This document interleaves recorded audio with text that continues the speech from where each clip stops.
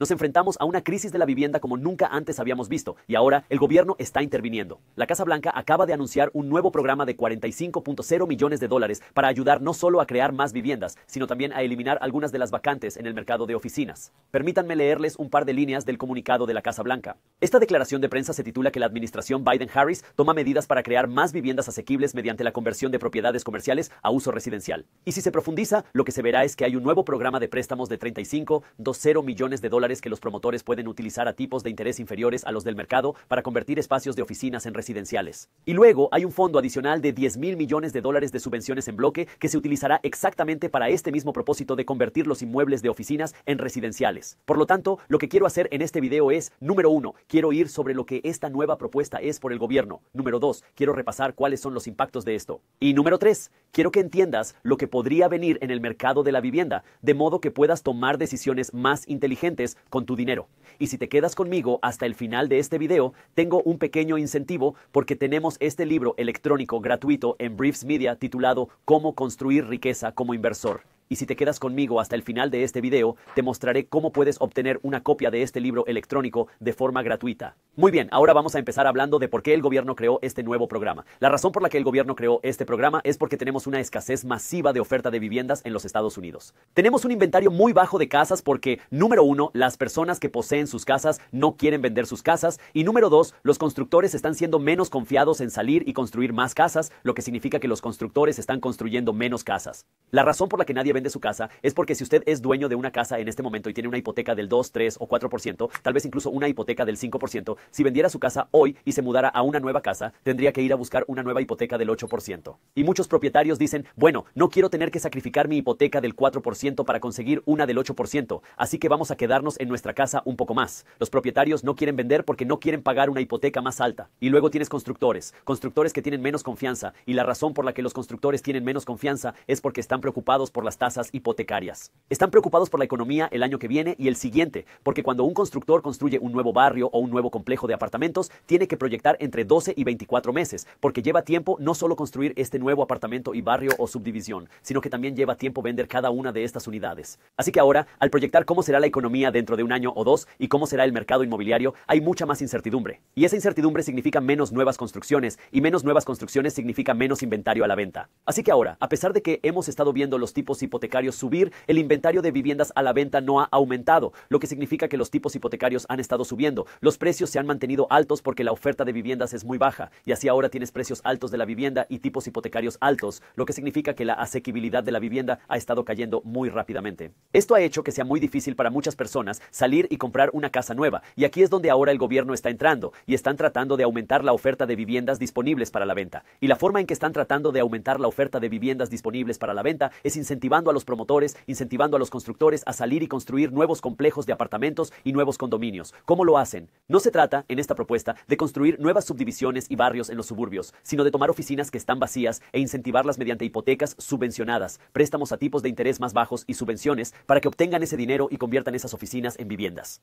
¿Por qué es importante? Porque es caro convertir un edificio de oficinas o un espacio de oficinas en residencial y la razón es que a veces los espacios de oficinas tienen diseños extraños y cuando tienes una casa residencial, bueno, tienes que tener lugares para la fontanería y lugares para la electricidad y lugares para tener zonas de dormitorio y zonas de estar, por lo que es un diseño muy diferente. Así que a veces puede ser muy caro convertir un espacio de oficinas en un espacio residencial y a veces, bueno, simplemente no es financieramente factible gastar ahora todo este dinero para convertir un espacio de oficinas en un espacio residencial. Y así si tuvieras que hacerlo como inversor, bueno, tal vez no tendría ningún sentido, pero ahora si el gobierno te está dando dinero gratis o dinero barato para salir y hacer esto, ahora puede llegar a ser mucho más atractivo. Así que por un lado es una manera de incentivar a los desarrolladores y constructores a salir, obtener este dinero gratis o barato para salir y empezar a construir y convertir esto en residencial. De esa manera hay más casas disponibles para la venta, pero hay un pequeño factor oculto aquí que usted quiere entender también y el factor oculto es, bueno, vamos a llamarlo él, es trilón problema inminente en el mercado inmobiliario comercial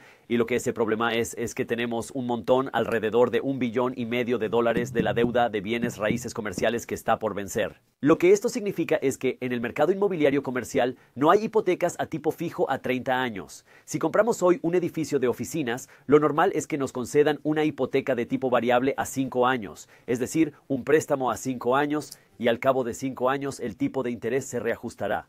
Bueno, lo que hemos visto suceder es que en los últimos años, cuando los tipos de interés eran muy bajos, se vio un montón de gente salir y empezar a invertir en bienes raíces. Uno de esos lugares era el sector inmobiliario de oficinas. Y ahora, si tienes propiedades de oficinas y tienes una refinanciación en 20 o 21, donde las hipotecas son muy bajas, como todo el mundo hizo, bueno, eso significa 24 y 25, vas a ver tu préstamo potencialmente vencer o tu refinanciación vencer. Eso significa que el reajuste podría estar llegando, y si el reajuste está llegando, eso significa que ahora, si su tasa hipotecaria es significativamente más alta, sus pagos también podrían dispararse. Así que ahora, la gente podría estar pasando de esta hipoteca de 2 a 3% a 7, 8, 9% de hipoteca en 24 y 25. Hay alrededor de un billón y medio de dólares de deuda inmobiliaria comercial que se espera que venza a finales de 2025. Así que ahora, la pregunta es, si estos pagos vencen y ahora todos estos propietarios tienen que pagar más dinero,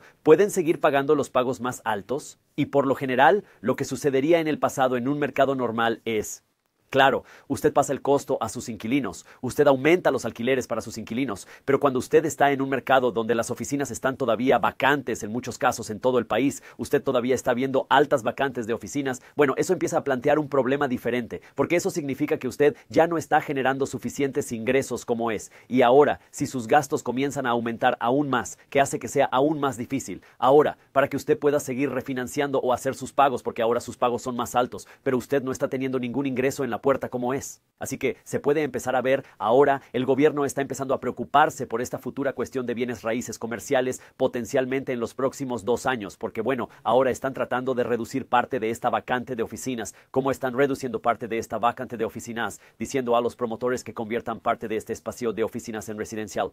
Ahora, por supuesto, tenemos alrededor de un billón y medio de dólares de deuda inmobiliaria comercial que vence en los próximos dos años, no todo es de oficinas, y ahora tenemos este programa de 45 mil millones de dólares para ayudar a los promotores e incentivar a los promotores y constructores a convertir parte de este espacio de oficinas en residencial. Hay una gran diferencia entre un billón y medio y 45 mil millones de dólares, pero aquí es donde hay que entender que hay un montón de problemas que se están gestando, especialmente en el mercado inmobiliario comercial, y cuando empecemos a ver lo que pasa con los tipos de interés en 24 y 25, bueno, eso va a indicar lo que podría suceder, especialmente en el mercado inmobiliario comercial, porque mucha gente está diciendo que 24 es un año electoral. El presidente Biden quiere ganar las elecciones de nuevo. Una de las cosas que podría ayudarle a ganar las elecciones es si los tipos de interés caen potencialmente, lo que significa que se podría ver cierta presión política por parte del gobierno para empujar al Banco de la Reserva Federal a empezar a recortar los tipos de interés. Ahora bien, el Banco de la Reserva Federal es una entidad separada e independiente del gobierno, al menos se supone que lo es. Sin embargo, lo que hemos visto suceder es que a veces hay presiones políticas y juegos políticos que se pueden jugar donde la gente en el poder quiere ganar de nuevo y podrían ejercer presión sobre el Banco de la Reserva Federal para tomar ciertas decisiones para influir en la economía, para ayudar potencialmente a la presidencia, porque cuando la gente siente que son ricos, cuando la gente siente que están haciendo dinero, cuando la gente siente que la economía es buena, se sienten fuertes y felices por lo que está sucediendo en el gobierno.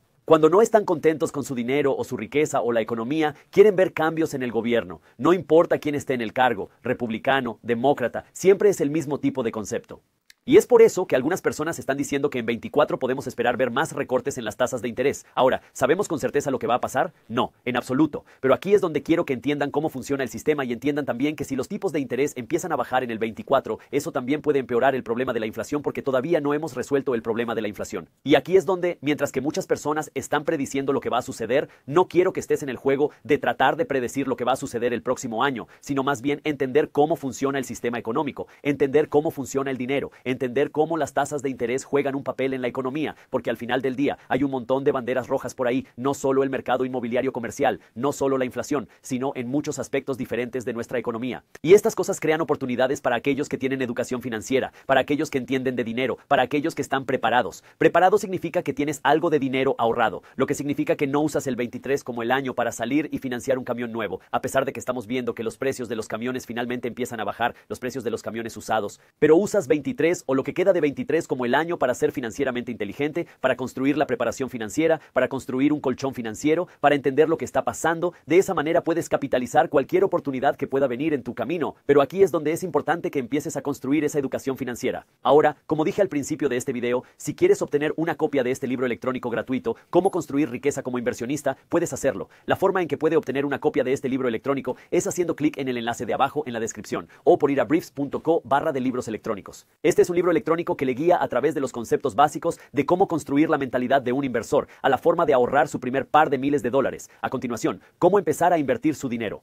¿Cuáles son las diferentes estrategias de inversión? ¿Cómo empezar a invertir para obtener flujo de caja? Y luego entra en cosas como cómo gastar tu dinero inteligentemente y luego pasa a cosas como cómo ganar más dinero de forma inteligente y luego entra en cosas como cómo proteger tus activos. Hay un montón de valor en este libro electrónico y se puede leer este libro electrónico de forma gratuita. Si desea obtener este libro electrónico, tengo el enlace para usted abajo en la descripción y con eso nos vemos en el siguiente video. Lea este título de la revista Fortune, El mercado de la vivienda en EEUU. Se ha vuelto tan caro que los ingresos tendrían que aumentar un 55% para hacer asequible la compra de una casa. América está experimentando actualmente uno de los mercados de la vivienda menos asequibles de todos los tiempos. Podrían ocurrir tres cosas para que la vivienda fuera más asequible. Los ingresos podrían aumentar drásticamente.